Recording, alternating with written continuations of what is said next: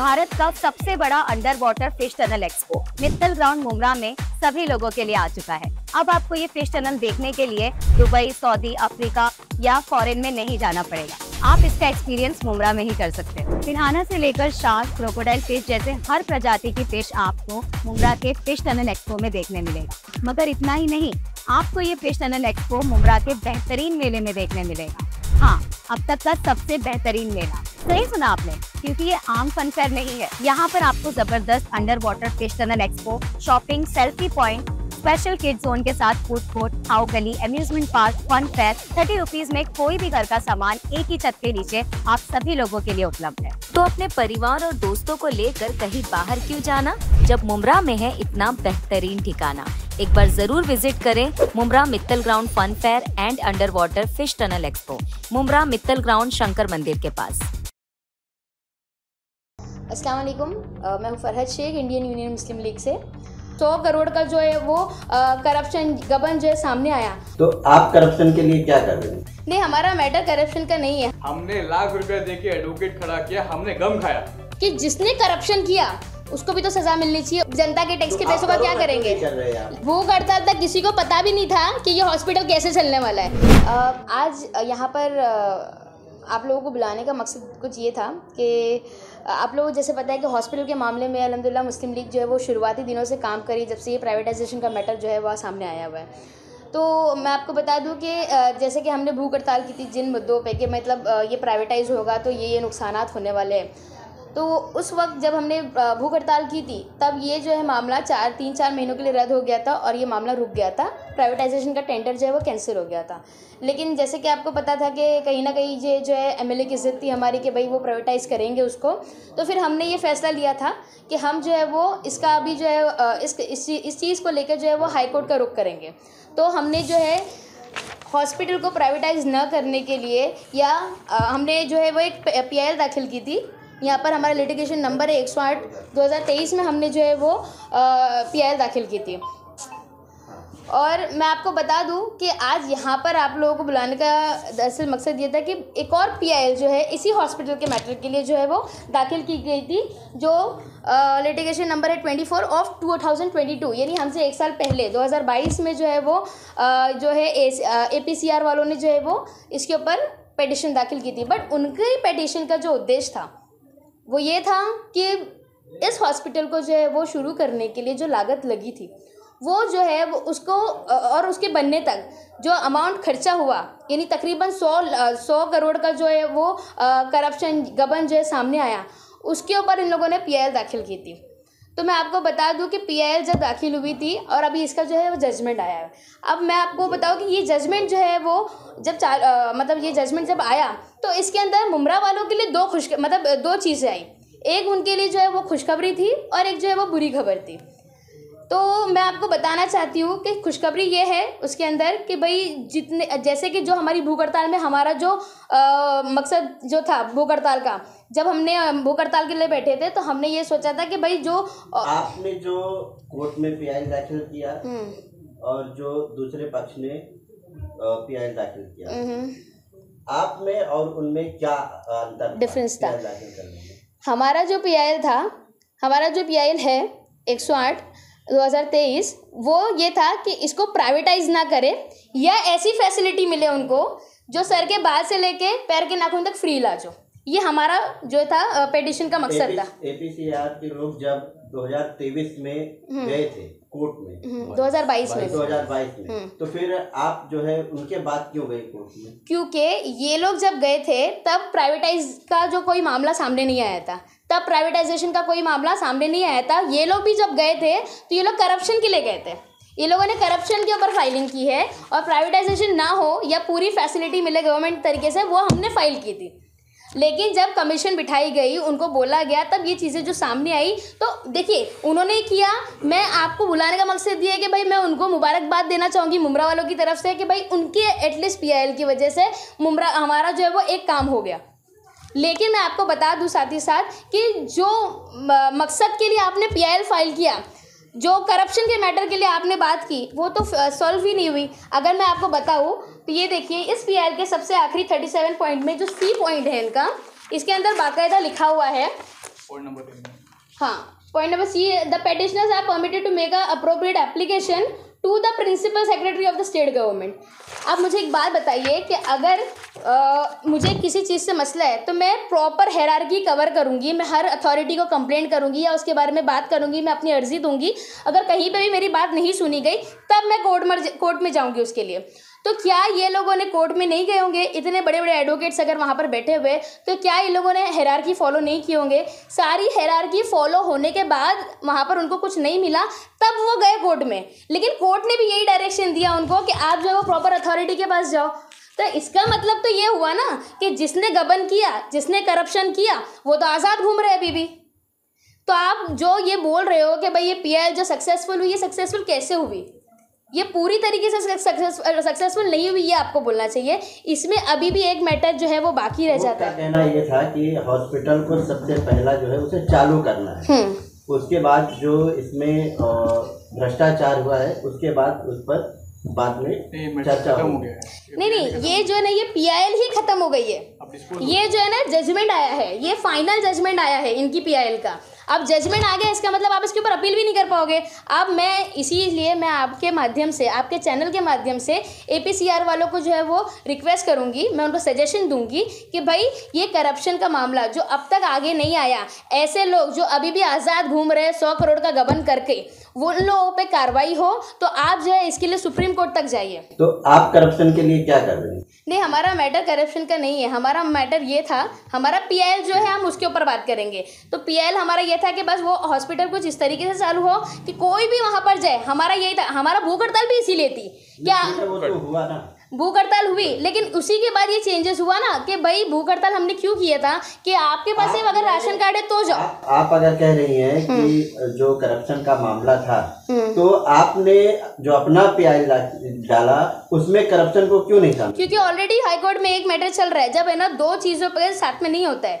तो अगर ये ऑलरेडी इस पे चल रहा था ये लोगों ने करप्शन पे बाद में हाँ। जब तक हमने डाला ना पीएल हमने सिर्फ़ प्राइवेट Privatization पे डाला। प्राइवेट पे डाला था ऑलरेडी करप्शन पे एक पीएल एक एक मैटर पे दो पीएल नहीं नहीं होते हम्म। नहीं होते। अगर आपके पास कुछ और एविडेंस है आप तो अलग मैटर तो अलग था ना कोर्ट में। तो आपने क्या पूछा? आपने करप्शन पे क्यों नहीं डाला? हाँ। तो करप्शन पे ऑलरेडी इसने इन्होंने डाला था तो हम कैसे डालेंगे? हमने प्राइवेटाइजेशन पे डाला। हमारे पास कुछ एक्स्ट्रा एविडेंस हो तो हाँ। हम डाल सकते हैं। वरना नहीं डाल सकते। हम्म। तो को, आपके जो आपने जो प्याज दाखिल किया था उस पर कुछ सुनवाई हुई? आपको एक बात बताता हूँ मैं। कैसा होता है कि ऑलरेडी एक सब्जेक्ट पे जब बात होती है कोर्ट के अंदर ना हम्म। अब अगर आप बोल रहे हैं कि वहाँ करप्शन पे हुआ ठीक है तो आपने तो प्राइवेट पे किया था ना तो हम्म। आप पे आपके पीआई पे सुनवाई हुई आपको एक बात बताता हूँ मैं हम्म, जब हमने। पीआईएल दाखिल की ना तब भी इस पीआईएल से प्राइवेटाइजेशन का मैटर नहीं था। ठीक है हमने लाख रुपया दे के एडवोकेट खड़ा किया हमने गम खाया क्योंकि ऑलरेडी एक मैटर चल रहा है और वही एक सब्जेक्ट पे सुनवाई हो रही है हमने लाख रुपया देने के बाद भी सुनवाई नहीं करवाई ताकि मामला जो है वो उल्टा ना हो जाए। हमने खाया जारी भी है ना ये बेसिकली देखा है तो। नहीं कैसा होता है ना कि ऑलरेडी जब किसी मैटर पे बात चल रही है हम हम लोग एवरी डेट पे वहाँ पर जा रहे थे हमारी अभी कल ही एक डेट थर्टी फ़र्स्ट जनवरी की थी हम वहाँ पर गए क्योंकि इसके ऊपर ऑलरेडी मैटर पे सुनवाई चल रही थी और हमारा जब मैटर गया ना तब आप, तक आपका जो मैटर था ठीक है आप अलग मैटर गए उनका अलग मैटर आप ऐसा बता हाँ, बराबर है। तो आपके मैटर पे सुनवाई क्यों नहीं हुई? मैं बता रही हूँ भैया आपको एक मिनट। टीएमसी को गाइडेंस दिया गया था लास्ट टाइम ऑर्डर आया था हाई कोर्ट से कि भाई आप कमीशन बिठाओ। जब ऑलरेडी उसके ऊपर कार्रवाई चल रही थी इसी वजह से जो है वो हमने इसके ऊपर जो है नेट टैक्स भी तो है। कमीशन जो है ना वो ऑलरेडी इसके ऊपर कार्रवाई आप, आपका मैटर तो बोर्ड पे ही नहीं आया। बोर्ड पे है मैटर। बोर्ड पे है बोर्ड पे है नंबर भी है। अभी आप हाई कोर्ट गए हैं तो आपको समझ आएगा कि मैटर बोर्ड पे है। हम्म। और तारीख भी की है भाई। ऑनलाइन दिखा सकते नहीं नहीं नहीं हाँ। नहीं मैटर मैटर बोर्ड पे ही है। अगर आप देखेंगे ये मैटर बोर्ड पे देखो लिखा है बैलेंस डेली बोर्ड क्या लिखा है? कि शुरुआत के तीन अक्षर क्या है? Balance daily board can not be taken मतलब जो बोर्ड पे बचे हुए मैटर है वो हम नहीं ले पाएँगे। तो आखिर वही मैं पूछ रहा हूँ आपको पता तो होगा इतना- क्या? इतना क- दिन हो गया आपको पीआई दाखिल किए अभी तक आपका मैटर जज के पास नहीं पहुँचा। नहीं नहीं नहीं जज के पास पहुँच गया है। देखिए मैं क्या नेक्स्ट डे पहुँच जाता है। आपको मालूम नहीं हाईकोर्ट गए नहीं आप कभी नहीं नहीं नहीं वेरी नेक्स्ट डे ये पहुँच गया है इसके पहले भी जो जो हुआ आप जज ने साफ़ बोल दिया आपको कि हमारे पास अभी समय नहीं है बाद में नहीं नहीं ऐसा बिल्कुल नहीं है मैं आपको अभी भी बता रही हूँ अभी भी मैं आपको बता रही हूँ ऑलरेडी एक केस चल रहा था उसके अंदर कमीशन को ऑलरेडी गाइड मतलब बोल दिया गया था कि भाई आप जो है इसके ऊपर कार्रवाई करो इसलिए हमने हमारे पीएल को होल्ड किया है वहाँ पर दो चीज़ बता दो पीआई इस्लामुद्दीन भाई। दिया था इस्लामुद्दीन भाई। हाई कोर्ट एक ने मिनट सुनो ना, एक मिनट फैसला सुनो दिया ना। जो जजमेंट दिया उन्होंने बताया कि नब्बे दिन जो है हम्म। हॉस्पिटल को चालू करने के लिए दिया है और जो भी गरीबों के लिए जो भी राशन कार्ड है वो फैसिलिटी दिया है। ठीक है? हम्म। तो अभी आपके पीआई पे क्या हुआ था वो बताइए ना। आपके पीआई पे क्या सुनवाई हुई? तीन बार आपको डेट मिला तो हम्म। क्या कहा गया आपको? वही तो बात है आप समझे नहीं बात को। हमने जब पीएल एक मिनट हमने जब दो। हमने जब पीएल फ़ाइल की वो हमारे हमने जब पीएल फ़ाइल की तब तक उस पीएल दोनों लोगों का सब्जेक्ट अलग था ना तो हम्म। कैसे हुआ? अरे कंप्लीट तो करने दो बताता हूँ ना आपको गई, एक ही था। हमने जब पीएल फ़ाइल की ना तब तक वहाँ प्राइवेटाइजेशन का मैटर नहीं था। हम्म। लेकिन जैसे हमने पीएल फ़ाइल कर दी उसके बाद वहाँ पे प्राइवेटाइजेशन का मैटर उठा। हम्म। ठीक है? और उससे आपको बता रहा पीआई फ़ाइल करने से पहले मेरे वालिद साहब है उन्होंने हनीफ खान से मुलाकात भी की थी। कि हम लोग फ़ाइल कर रहे हैं। तो उन्होंने बोला वो अच्छी बात है हमारा मैटर अलग है तुम्हारा मैटर अलग है आप लोग करो। हमने मुशाला साहब से बात करने की कोशिश भी की कि हम अपना अपना पूरा डेटा आपको लाके देते हैं आप जो है वो फाइट करो हमको कुछ नहीं करना। हम्म। लेकिन उन्होंने टाइम नहीं दिया। टाइम नहीं देने की वजह से हमारा लाख रुपया खर्चा हुआ। उसके बाद जब मैटर चालू हुआ तो हमने गम खाया। चलो सब्जेक्ट पे बात तो हो रही है। सब्जेक्ट पे बात हो रही है इस चक्कर में हमने गम खा लिया। लेकिन यहाँ पे जो प्रेस कॉन्फ्रेंस है वो एक्चुअली देखा जाए तो आवाम को ये बताने के लिए कि आवाम का जो मकसद है आवाम की जो जो ज़रूरत है वो उसको पूरा हो गया है। चाहे अगर वो पीएल में मैटर नहीं लेते तो हमारा तो पीएल लगा हुआ ही था। हमने लाख रुपये खर्चा एडवोकेट एडवोकेट किया हुआ है। ठीक है? तो वो तो लेता था मैटर। लेकिन है ना मैं ये बताना चाहूँगी आखिर में कि इस इस जो ये जो जजमेंट आया है इसके पीछे ये ना छुपे। क्या छुप रहा है इसके पीछे? कि जिसने करप्शन किया उसको भी तो सजा मिलनी चाहिए। उसके ऊपर जानकारी उसके ऊपर जो है वो इंक्वायरी होनी आप चाहिए। कि करप्शन के बारे में ज़िक्र नहीं है क्या हम्म, हम्म। आप जैसा करें तो आगे आप करप्शन के लिए क्या करेंगे? नहीं अभी करप्शन के लिए अभी कुछ हाँ नहीं करेंगे हाँ। क्योंकि हमारा अभी फ़िलहाल वो स्टैंड नहीं है। हमारा स्टैंड है लोगों की सुविधा देना। बराबर। और लोगों का काम होना। करप्शन तो नहीं देखो। बताइए ये कह रहे हैं जो करप्शन किए हैं हम्म। जो करप्शन किए हैं उनको सजा मिलनी चाहिए ऐसा आप कह रहे हैं। हम्म। और आपके भाई कह रहे हैं कि करप्शन के लिए हम कुछ नहीं करेंगे। नहीं नहीं मैं नहीं बोल रही हूँ मैं ये बोल रही हूँ कि जिसने ये पेटिशन जिस मकसद के लिए फ़ाइल किया था उसमें जो मेन उसका उद्देश्य था वो पूरा नहीं हुआ। इसीलिए मैं एपीसीआर वालों को बोलना चाह रही हूँ कि आपने करप्शन के मैटर के लिए इसके लिए फ़ाइल किया था जिसके ऊपर कोई जजमेंट नहीं आया है तो आप इसके ऊपर सुपर हाँ करप्शन एक अलग मुद्दा है लेकिन हॉस्पिटल चालू करना सब पहली प्राथमिकता है। हमारे लिए भी पहली प्राथमिकता को यही है। करना ज़रूरी है। तो फिर मतलब जिसने सौ करोड़ खा के बैठ गया उसको क्या करेंगे? जनता के टैक्स के तो पैसों का क्या करेंगे? ऑलरेडी एक पेटिशन फ़ाइल थी इसके ऊपर कर सकते हैं ना आगे जाकर हम लोग सुप्रीम कोर्ट में? हमारी प्राथमिकता भी वही थी कि सुविधा मिले। उन लोगों ने कल प्रेस कॉन्फ्रेंस किया ठीक है? आपकी पीआई पे अभी तक सुनवाई भी नहीं हुई और आप भी प्रेस कॉन्फ्रेंस कर रहे हैं हॉस्पिटल को हाँ। लेकर। तो वो एक एक ने तो कुछ ना कुछ किया ना तो तो किया? एक कुछ ना कुछ कर रहा है अगर हम भी कुछ कर लेते साथ में तो उनकी भी तो नहीं सुनती जाती ना। हम लोग दो मैटर को साथ में आप इसको ही